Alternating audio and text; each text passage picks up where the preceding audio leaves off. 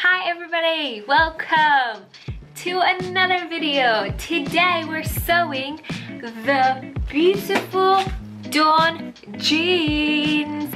I've never worked with denim before. I've never made a pair of jeans. This is a new experience for me, but I wanna um, have a go at it because that's what sewing is all about and I wanna take you all on the journey of how I made this pair of jeans bought this pattern i bought this really really gorgeous heavyweight denim.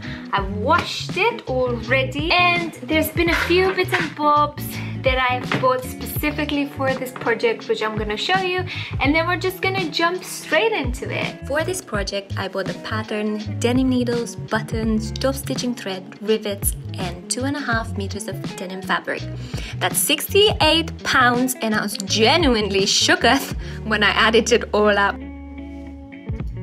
Blissfully unaware of exactly how much money I spent on this project, I started things off by ironing my fabric because I had left it in the washing machine far too long and it was very creased. Then I measured my hips, which don't lie, and I was confused because I was between a size 6 and 0, so I ended up grading between 6 and 2 just to make sure my jeans would not end up small.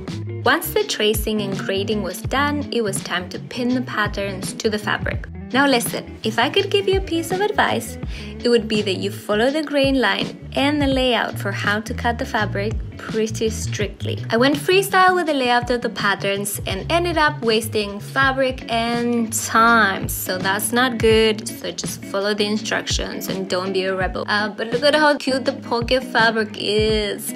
Anyways, prepare yourself for a lot of cutting and when I say a lot of cutting, I mean a lot of cutting. Okay, let's get it started started. I can sew a pair of jeans. I I can. The pressure is on to not have wasted my money. Here we go. First thing on the to-do list was to stay stitch a few pieces just so they don't stretch.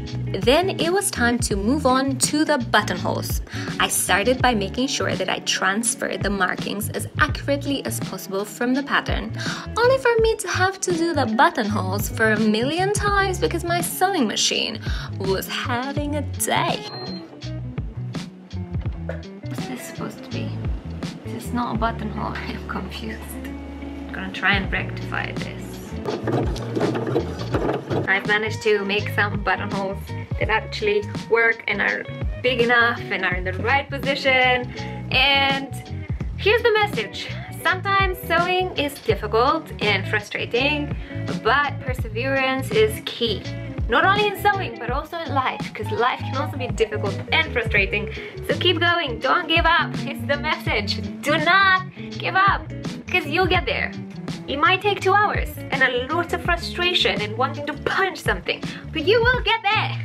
Once I had the buttonholes, my friend, it was time to rip them open and move on to fly closures. I hope I'm saying that right. The fly closures were honestly a lot of stitching, pressing, more stitching, more pressing, some more top stitching, but it was all very satisfying work, you know. I mean, look how beautiful that looks! If you told me six months ago I'd be able to do this, I would have not believed you. Once the fly closures were done, it was time to move on to the front crotch, which was a case of stitching the two legs together and then top stitching it as well. This alone took me hours and hours and hours of figuring out, but I'm so happy. I feel like I've learned so much and it's really pushed my skills. So I'm hoping that the next bit is gonna be easier.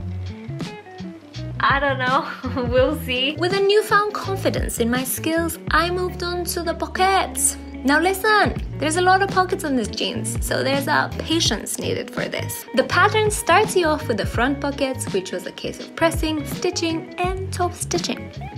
Okay, so here I was attaching the denim pockets to the actual pockets that hold your belongings and your stacks, and it was uh, definitely a little bit like putting together IKEA furniture. So, you know, it's worth taking your time and having a snack nearby.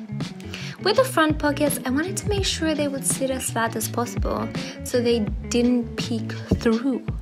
And finally, after hours of figuring it out, I was done with the front pockets. I love the gingham with the denim. It looks so cute. I'm flying high, but I'm also flying low because I'm just looking at these guys and I feel like they're a little small. I keep putting them against my legs and I'm like, are these gonna be too small? And I'm freaking out because I've worked really, really hard on a pair of jeans that potentially might not fit me. I just don't know. Once the front pockets are done, it was time to work on the back ones. And there's a bit of pressing and pinning required here in order to give you a flat pocket, so I took my time with that. It was my first time sewing these kinds of pocket, and I wanted a flat pocket to match my flat booty.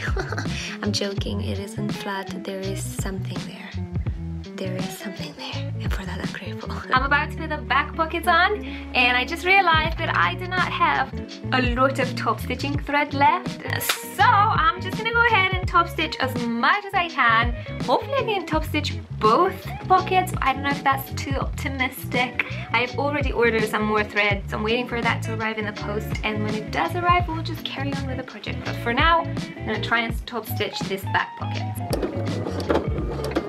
one down, another one to go. I did it, and with a little bit of thread left. Come on, somebody. Once the top stitching thread arrived, I moved on and worked on the yoke. This was thankfully pretty straightforward and was just another case of stitching, pressing, and top stitching. And once that was done, it was time to attach the two back pieces together at the back crotch. Okay, so that's done. Now it means we have to attach the front to the back and this is where I will find out if this fits. When putting the front and the back together, I was like, dang, are these legs two different sizes? But no, you start at the crotch and pin the inner leg and it looks weird, but it's supposed to look that way. Once the inner legs are top stitched, the next thing to do is to pin legs at the sides. Okay, so we got the jeans. They are all pinned and ready to be stitched to the sides. And looking at them, I feel like maybe they aren't as small as I thought, which is really, really good. So the plan is to go ahead and do a basting stitch and try them on and see what adjustments I need to make. Let's move on. Thankfully, the jeans did fit, praise the Lord, because I had just spent 68 pounds making it, so that was good. And I even took them in at the waist, which makes me think that next time I should just go with a size 4 to save myself the grading and the drama. Look at them! Look at these tiny jeans of mine! I get emotionally attached to every single thing I sew. It is no joke. I just do. I just want to hug them and I just want to tell them that they are loved and appreciated and they're gonna be well taken care of. After declaring my undying love for a pair of jeans, just like any normal person would, I made belt loops and attached them to the jeans. Then it was time to attach the waistband. The waistband is made up of two components, so you attach the first one, stitch it and press it, and then you attach the second one on top of the first band, making sure it aligns properly. Then you stitch it all around and at the edges and open it up and press it, all ready for some top stitching. Once I had a really nicely top stitched waistband, it was time to finish up the belt loops by pressing them and then top stitching them. The jeans are almost done. They're looking really, really nice.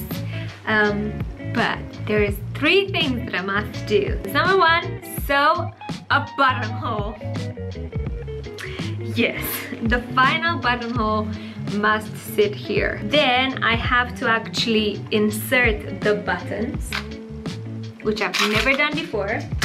Then I have to add rivets, which I've never done before. Really am excited to finish them though. I feel like these jeans, uh, you know, took something from me. they took my sweat and tears. But honestly, I tried them on and they look really, really nice. So I'm really happy. For the buttonhole here, I drew a buttonhole like the artist that I am, zigzag stitched it and hope for the best. And then with inserting the buttons, it was a case of making a hole in the jeans, just like 2020 made a hole in the economy. And then I hammered the buttons into the jeans. Three more. It was a very similar process for the rivets. I actually found a very useful tutorial on how to insert rivets, which I shall link in the description. I sound like such a YouTuber. Inserting those buttons and rivets was a first for me, and I was genuinely so proud of my little old self for doing it. Yeah! Yeah! I got a button and I got a rivet and I'm feeling good about life. Yeah! now uh, 20 more million rivets to go. Uh, but I'm gonna go and put the rivets in and then I'm gonna hem the jeans and then I'm gonna show you guys uh, the jeans on my booty, okay? Alright, see you later.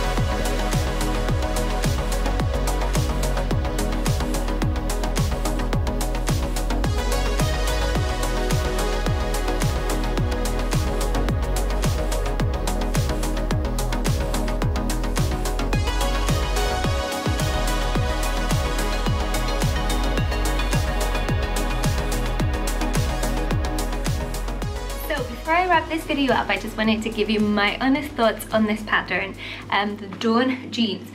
Woo! Um, okay, so number one, the instructions are really clear. The sizing is really good. Um, I love that they're high-waisted. Um, I love just just how good they look. They look just really, really modern. Um, and there's just so many ways of like customizing. So check Instagram out for that because it will give you lots of ideas. Next time I'll do these jeans, I'll switch buttons for a zipper because I feel like a zipper will hold things in place a lot more than buttons. I don't feel like the buttons are holding things in place and I just feel like there's just a lot going on here. Does that make sense? So yeah, I think next time I'll do zipper so maybe consider that if you're thinking about this pattern. This is my honest thoughts. I hope this is helpful and I shall see you in the next video. Thank you so much for all of your support. Thank you so much for subscribing. I have been so overwhelmed by all the comments and all the love I've been receiving recently on my channel. You are such cute bonbons and I appreciate you and I really wish you all the best. So see you, take care of yourself and see you maybe in a week's time. Bye!